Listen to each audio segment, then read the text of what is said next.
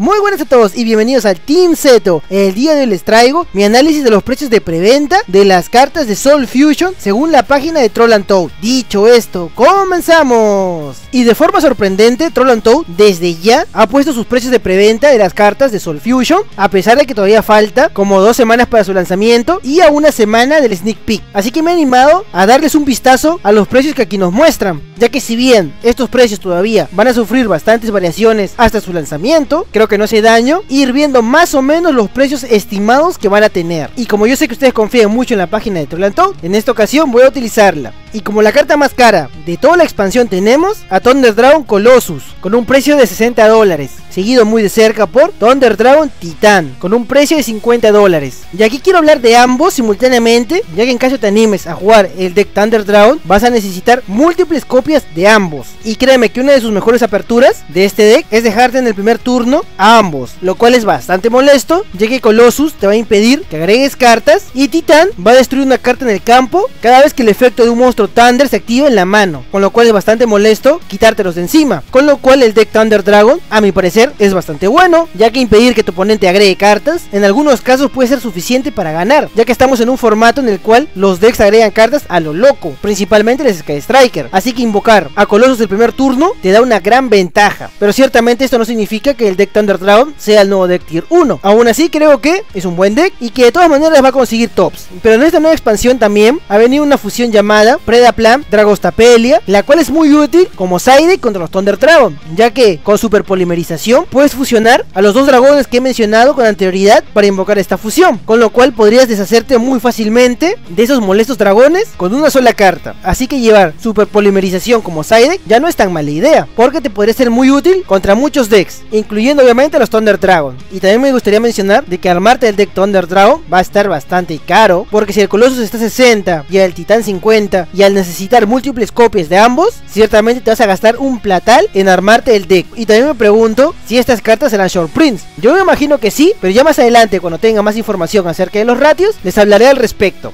Y nuestra siguiente carta es Thunderbird. Y como pueden ver tiene un precio de 50 dólares. Con lo cual ciertamente está cara. Pero lo curioso de esto es de que Bigfoot actualmente está rondando los 40 dólares. Lo cual es un tanto irónico. Porque yo personalmente pienso de que Bigfoot es un poco mejor que Thunderbird. Yo sé que ambos tienen efectos muy similares. Ya que Bigfoot destruye cartas boca arriba y Thunderbird destruye cartas boca abajo. Y sus ataques son más o menos parecidos. Pero obviamente Bigfoot tiene un poco más. Y a mi parecer dudo que la mayoría de jugadores Danger lleve 3 Thunderbirds. A diferencia de que muy probablemente si lleves 3 Bigfoot. Por ende, yo pienso que el precio de Thunderbird va a disminuir un poco, porque ciertamente está un poco caro en relación a la utilidad que le puedas dar en un deck Danger. Aún así me puedo estar equivocando, pero es lo que yo pienso. Luego tenemos a Chaos Dragon Livienir, o como se pronuncie, el cual tiene un precio de 38 dólares. Y como ya había comentado anteriormente, a mí me gusta más este dragón que el nuevo dragón emperador del caos, pero es solamente mi apreciación personal. Y respecto a esta carta, yo creo que no está nada mal. Puede ser útil en muchos decks que dispongan de monstruos de luz y oscuridad, pero me imagino que su mayor utilidad será para el deck Chaos Dragon. Y sus efectos creo que están bastante decentes, con lo cual, digamos que su precio está más o menos acorde a la utilidad que le podrías dar. Ya luego tenemos a Tsuchinoko, también conocido como el serpiente kawaii, la cual tiene un precio de 35 dólares, con lo cual digamos de que ciertamente está algo cara, pero también puede ser útil en algún deck híbrido, Danger Barnavis o Danger Phantom Knight, porque como recordarán esta serpiente se va invocar sí o sí, le atinen o no le atinen, con lo cual te podría ayudar a invocar monstruos de rango 3, así que no está nada mal, aunque ciertamente si lo comparamos por ejemplo con el Jackalope, el cual te permite invocar a cualquier monstruo Danger, quizás el efecto de descarte de esta carta no te resulte tan magnífico, pero creo que el hecho de que sea nivel 3 la vuelve interesante para los decks que he mencionado anteriormente. Y nuestra siguiente carta es Trap Trick, la cual tiene un precio aproximado de 25 dólares.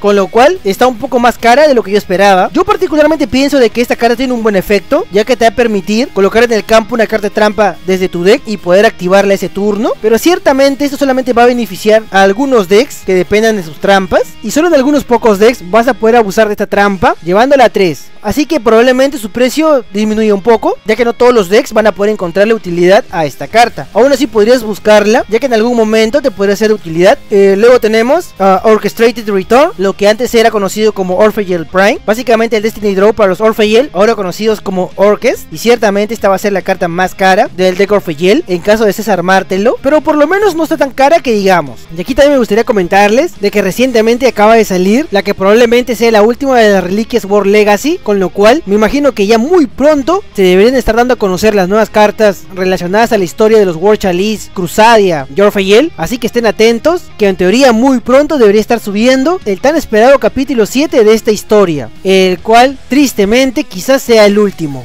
y el precio de la última carta secreta, la cual es Condemned Witch, es de 12 dólares. Con lo cual, esta es la carta secreta que tú no vas a querer que te toque en caso compres este producto. Porque si bien a mi parecer, Condemned Witch tiene un efecto aceptable, no es muy útil que digamos, ya que básicamente es para ser utilizada en un deck Fairy, y a día de hoy los Fairy realmente no son muy relevantes, con lo cual tiene un precio bajo en comparación a las demás secretas. Y todavía es un misterio por qué le pusieron esta rareza, pero en fin, y ahora sí pasemos a las cartas ultras. Y la carta ultra más cara es Thunder Dragon Fusion. Lo cual no es ninguna sorpresa, ya que prácticamente todo lo Thunder Dragon está bastante caro. Y respecto a Thunder Dragon Fusion, es más que evidente que es una carta muy buena, que te permite fusionar el campo, removidos o el cementerio, al devolver las cartas al deck. Así que tiene un efecto bastante bueno. Y esta carta no solamente va a ser utilizada en el deck Thunder Dragon, también puede ser útil en un deck Prankits, ya que la fusión Prankits es estándar. Aunque yo particularmente pienso de que tiene un precio un tanto elevado. Pero en fin, esto es lo que nos dice troll, al menos de momento. Ya luego tenemos a Morgan, la cual es la nueva hand trap de los Noble Knights, con un precio de 17 dólares, lo cual a mí sí me ha sorprendido un poco, porque ciertamente creo que lo más hypeado respecto a los nuevos Noble Knights es su nuevo Rota, pero al parecer su hand trap, la cual tiene un efecto decente, también tiene un precio un tanto elevado. Y luego tenemos el Danger Response Team, la cual es una carta digamos útil para los Danger y tiene un precio de 15 dólares. A mí particularmente me gusta mucho el segundo efecto de esta carta, ya que con el simple hecho de descartarla puedes activar su efecto en el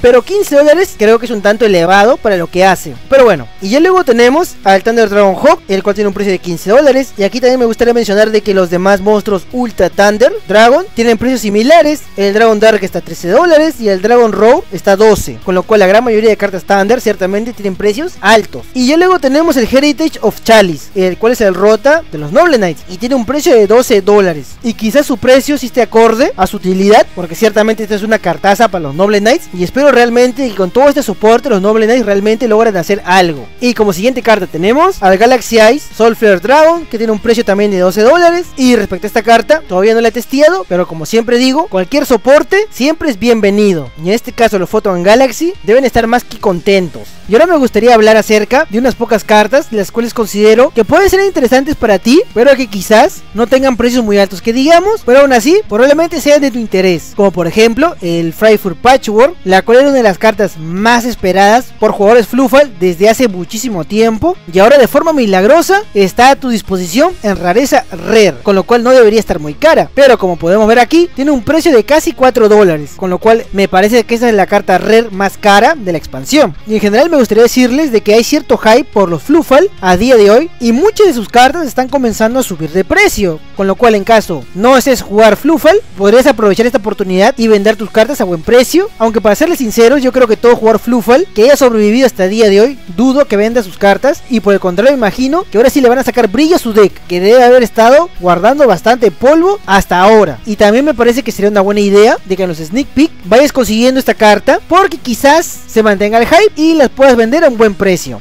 Y la última carta de la cual me gustaría hablar es de Folgo, la cual como pueden apreciar ahora tiene un precio de 1.3 dólares. Pero el día de ayer, cuando revisé la página, muy temprano, estaba a dólar. Con lo cual digamos de que ha subido un poco, porque con la llegada de Folgo, y sobre todo en esta rareza, la cual la hace bastante accesible, digamos de que los Full Hire, los furritos, están teniendo un pequeño hype, ya que Folgo hace un poco más jugable al deck. Si bien todavía pienso de que los Full Hire no son tan buenos que digamos, y que Folgo realmente no les va a dar la competitividad que necesitan, aún así creo que es un muy buen soporte. Quizás con un poco más de suerte, más adelante Konami le sigue dando más soporte a los Full Hire porque realmente los necesitan para conseguir esa competitividad que muchos deseamos que tenga. Y como la carta solamente está en dólar punto 3, quizás no sea una mala idea que las consigas a un precio económico para que quizás más adelante las puedas revender. En caso los furros se hypeen un poco más. Y también me estaba olvidando de recomendarte de que también busques al Mega Genjis, que es otra carta con cierto hype y que quizás hacerte con algunas de ellas te pueda hacer ganar unos cuantos dólares. Y ya luego todas las demás cartas tienen precios inferiores a los 10 dólares, con lo cual en teoría no debería estar dando problemas en conseguirlas, aunque una vez más recalco de que estos son precios de preventa, de troll, con lo cual quizás están un poco inflados y ciertamente van a seguir habiendo variaciones hasta su fecha de lanzamiento, pero esto simplemente es un vistazo muy rápido para conocer más o menos cómo están los precios a día de hoy, pero quizás el día de mañana sean otros, así que esto último que estoy diciendo tenlo muy en consideración.